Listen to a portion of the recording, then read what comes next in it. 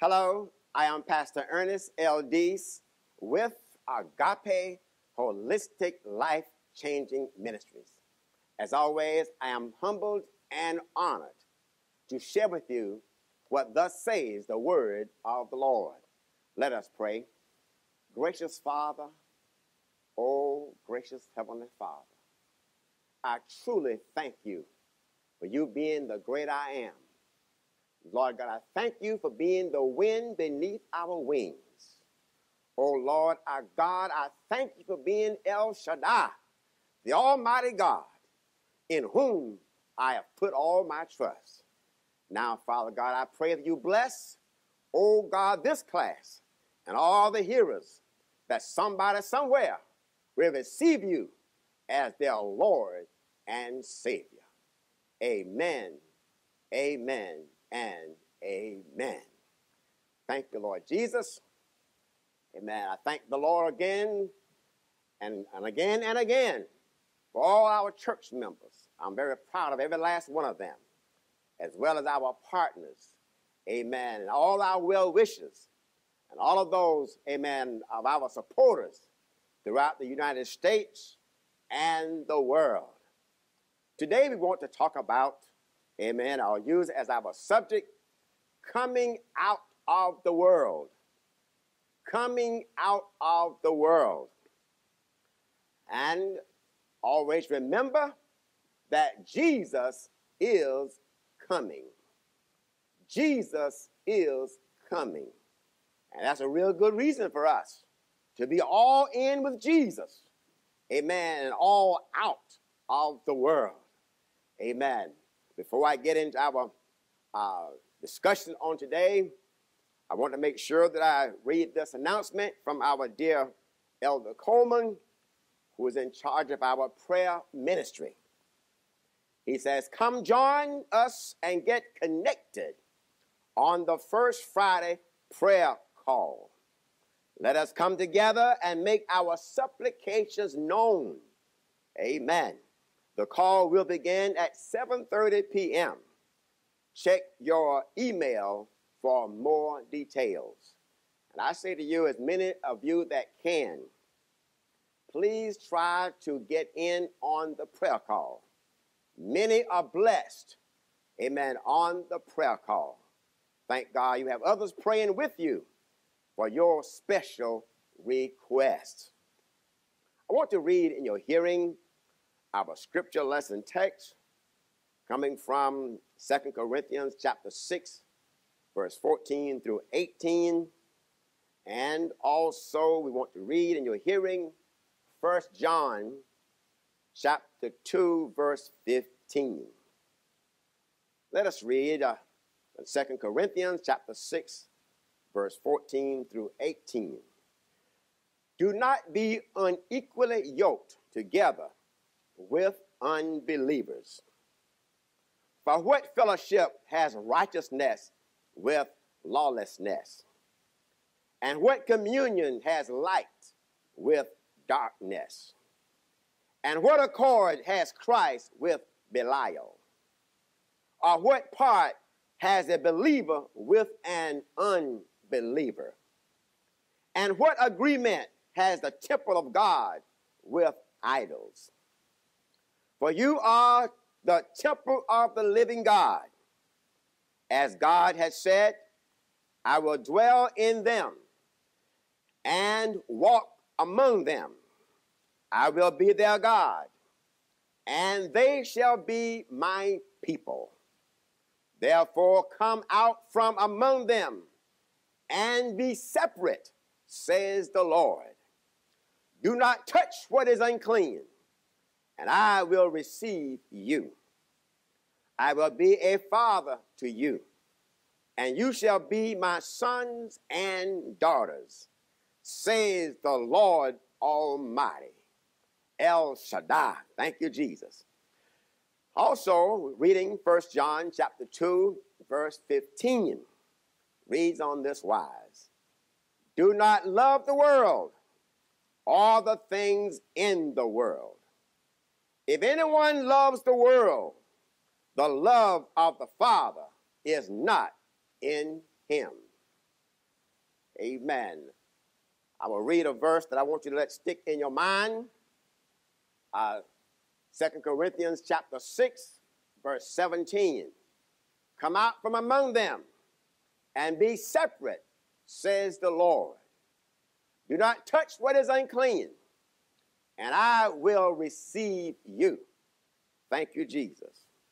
Now, everything we are saying today, I believe, is of a serious magnitude. So I really want you to listen. Jesus Christ, I really believe, is coming soon. And I want as many as possible, amen, to go back with Jesus Christ. But I have found, just like the book of Revelation teaches us, in these last days, the church, by and large, has gotten lukewarm. It appears that so many people think they can just skate along and do almost anything and sin a little and try to live a little for Jesus, sin a little and try to live a little for Jesus. And yet, amen, when the heavenly call is made, they'll be caught up to meet the Lord in the air. Now, I want you to take a close look at this container. It's a container of oil and water mixture. Now, they both are in the same container. Yes, but yet, if you look closely, you can see that they are still separate. Now, even if I mix it up and let it set for a while, you will see that after a while, the water will go its way and the oil will go its way. I'm going to let it sit here for a while. And just like that oil and water are separate, don't care how much you mix it, the same is true for those that are born again believers. Amen. And this world. Amen. We are in the world. Amen. But we, amen, are not of the world. As God was talking to his people in Isaiah chapter 1, around verse 18. Come now, let us reason together. And I say to you, come now, let us talk this thing out. Let us settle this matter of trying to be a, a born again believer while at the same time trying to live the life of one who has never been born again. It just doesn't work. Jesus stated, Amen, concerning the water and the spirit. You must be born again of the water and of the spirit. And if anybody knows, Jesus knows. Now, we find in St. John chapter 17, around verse 15 through 21, and I want to read that in your hearing. Uh, St. John, let's turn to that if you will. Chapter 17,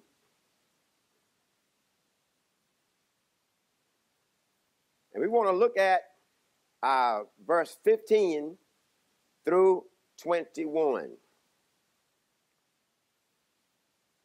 And let's take a quick, a real good look at that. Amen, if you will. I'm going to begin at verse 15. Now, listen what Jesus said. This is very important. And he's praying to his father. I do not pray that you should take them out of the world, but that you should keep them from the evil one. Thank you, Jesus. They are not of the world, just as I am not of the world. Sanctify them by your truth. Your word is truth. As you sent me into the world, I also have sent them into the world. And for their sakes I sanctify myself, that they also may be sanctified by the truth. And remember now, that word sanctified, they are set aside, they are cleansed, they are set aside, amen, for the master's use. I do not pray for these alone, but also for those who will believe in me through their word. Isn't that awesome? So Jesus prayed for me and it prayed for you because I do believe in the words of the apostles. I thank God for praying, amen, for me. Now, as I said, that word sanctified, to set aside for a special or holy purpose. Now, let me ask you this question How can we expect to act like the world? Now, you, you get what I'm saying. Live in sin like the world, die in sin like the world, but be resurrected to live with Jesus throughout eternity in peace and sinless. Now, how can that be? Revelation chapter 22, around verse 21, uh, verse 11, teaches us that he who is unjust, let him be unjust still. When Jesus comes, however Jesus catch you or find you, that's how you're going to remain. He who is filthy, let him be filthy still. He who is righteous, let him be righteous still. He who is holy, let him be holy still.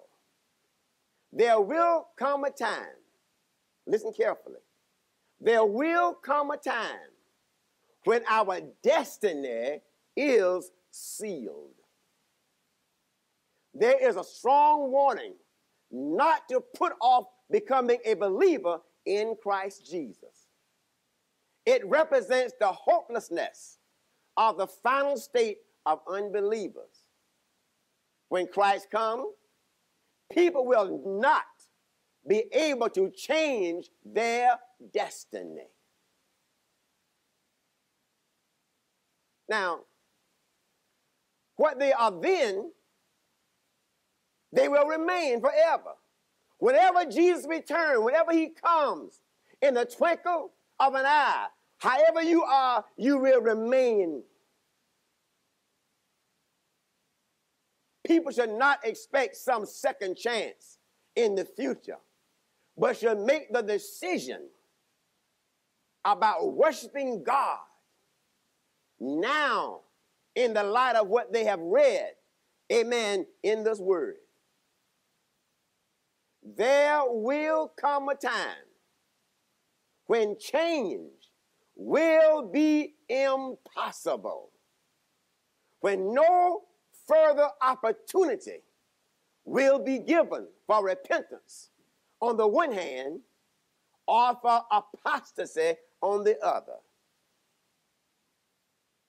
There will come a time when you won't have an opportunity to turn away. But why? Because you be caught up to meet the Lord in the air in a twinkling of an eye. However, you will be at that time, that's how you're going to be. There will come a time in which the good and the evil find themselves at a time when no further opportunity for repentance remains. The lesson is change while there is time. Let me say that again. Change for the better while there is still time. Today, is the day of salvation. Don't try to be a know it all. Yield yourselves to the Word of God. Today is the only time that you have, amen, to work with. Well, Pastor, what are you saying? I'm saying that yesterday is gone forever. And tomorrow is not promised. It's not promised to you. Now, tomorrow will come. But will you see it? Will you be a part of tomorrow? Today is your opportunity to get it right. Will you hear, well done, thy good and faithful servant?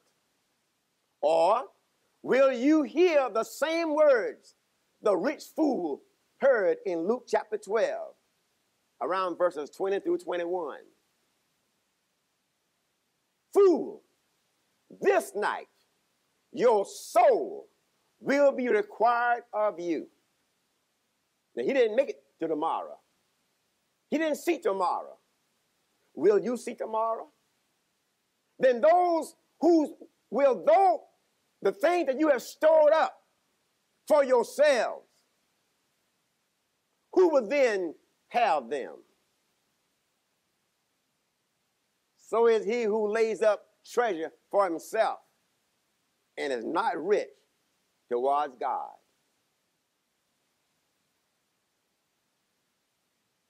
Think about that. The fool didn't see the next day. It wasn't promised to him. All those things he laid up, I got a feeling Jody may have the most of it. Remember, God and sin will never mix or blend under any circumstance. Take a note. As the water and the oil begin to settle, each one is going back to his own corner. So is the same thing with the, with the true believer and the ungodly. Sin and righteousness just don't mix. I don't care how much you try to mix it up. It'll be like clay and iron. It won't hold together. The nature of God is holy. And sin is inherently evil. Therefore, as born again believers, we must separate ourselves from the world and its lusts we, the born again believers, should be aware that our bodies are the temple of the Holy Spirit of God. If God is to remain living in our souls, it is necessary for us to live godly, even in the midst of this perverse society.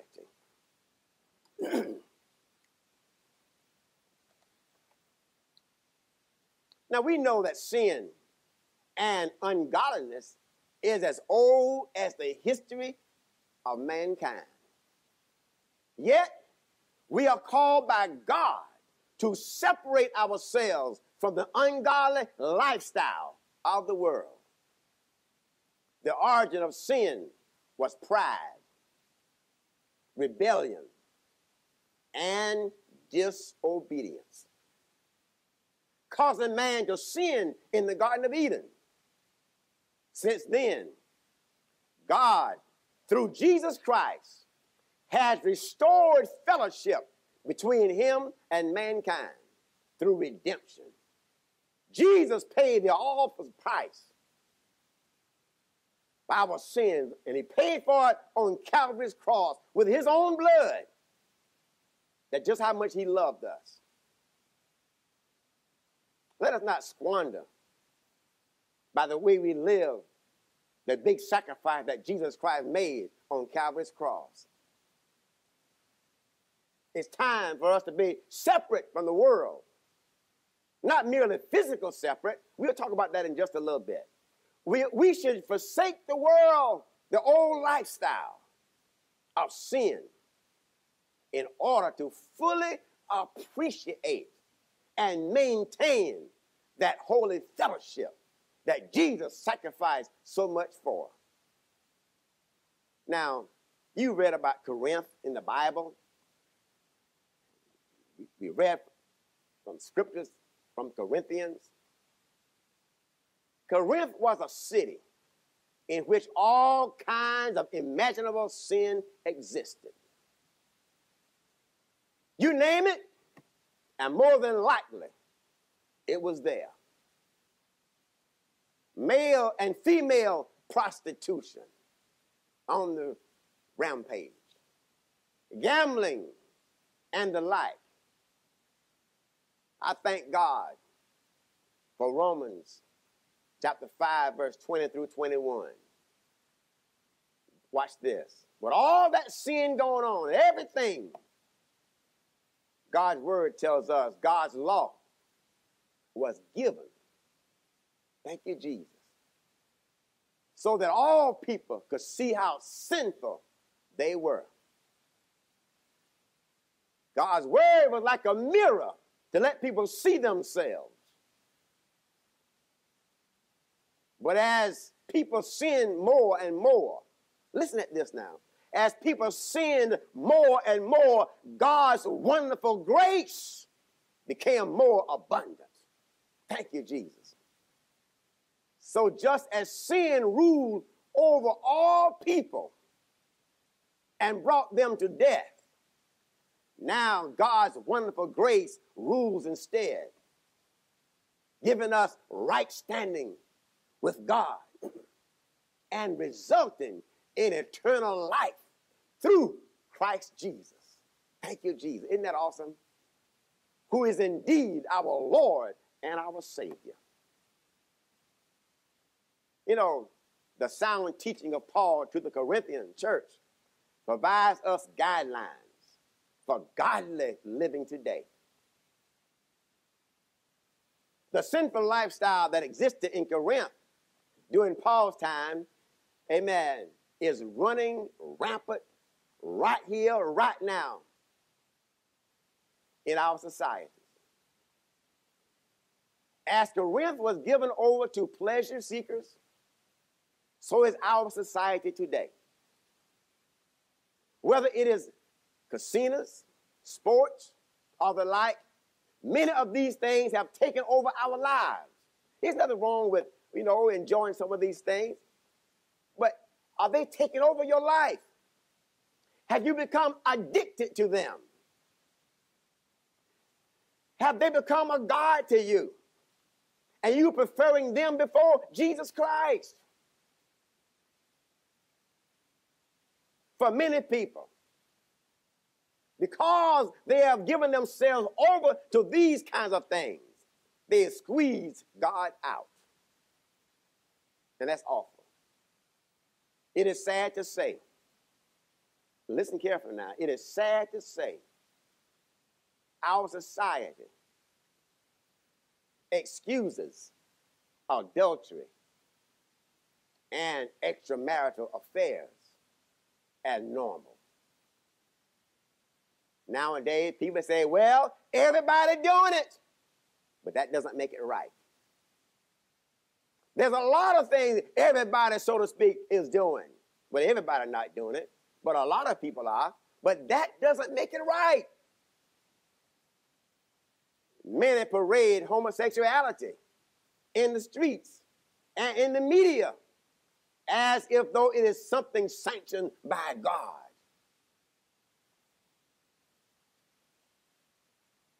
What is even more sad is that many are being led to believe that lie, even denying them from being told the truth. We find in Leviticus chapter 18, I believe it's around verse 22, The Bible teaches us do not practice homosexuality. Now, how much more plain can you get than that? God's word. It says, do not practice homosexuality. Having sex with another man as with a woman. It is a detestable sin.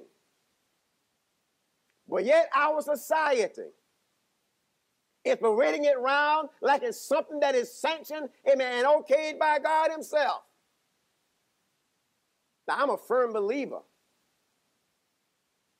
I'm a firm believer that every American should have equal rights under the Constitution. Regardless of how you believe, you should have equal rights under the Constitution.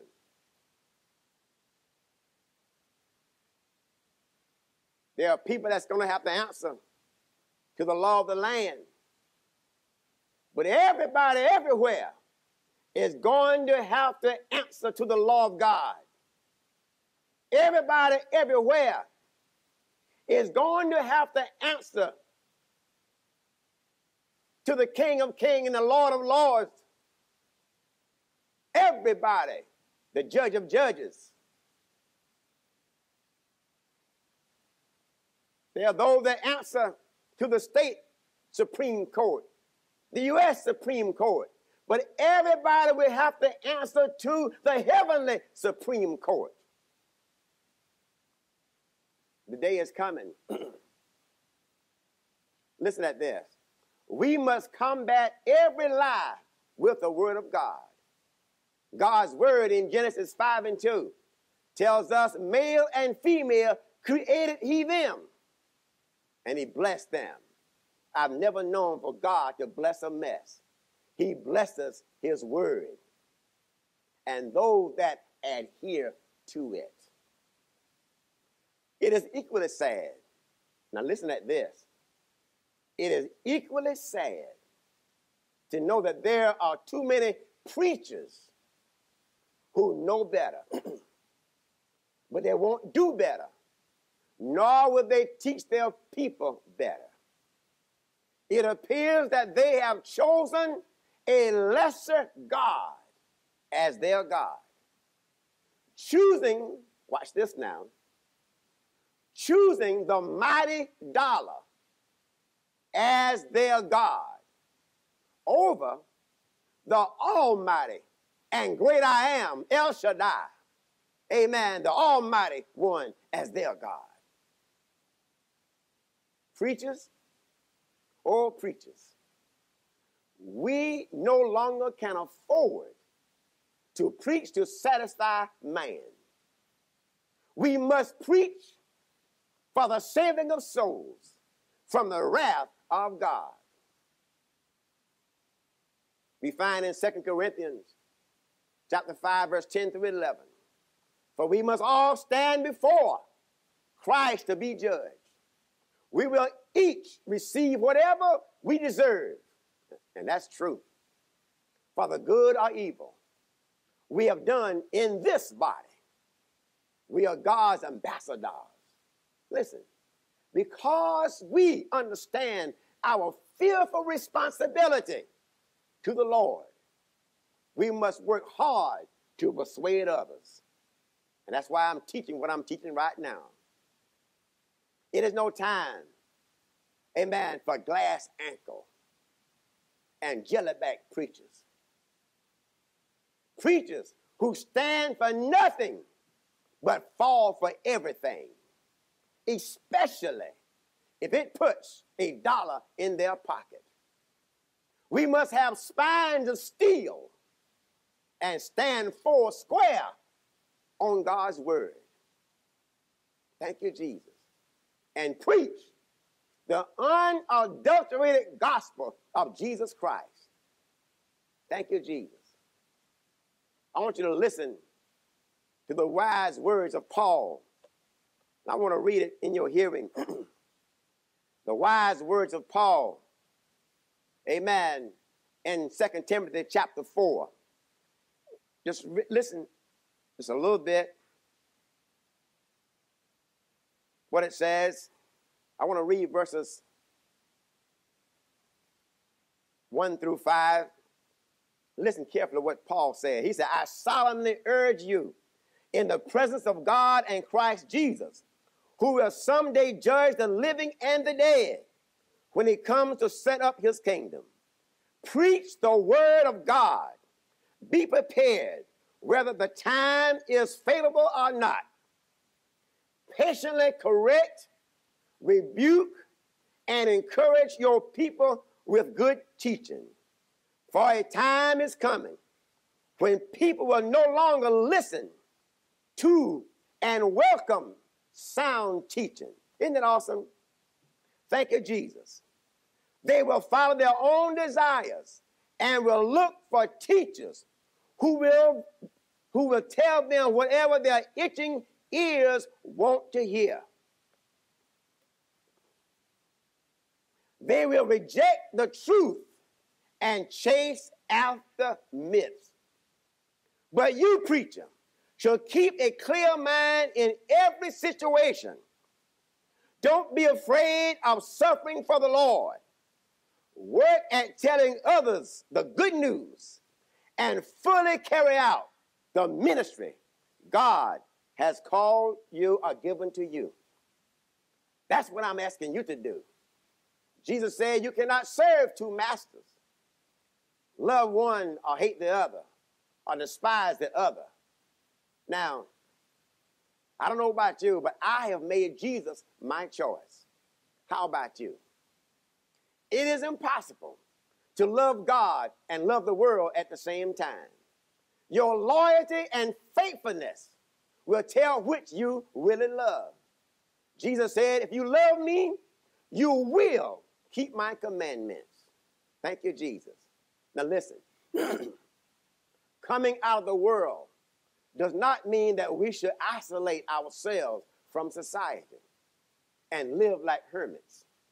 Jesus prayed in John 17, they do not belong to the world, just as I do not belong to the world.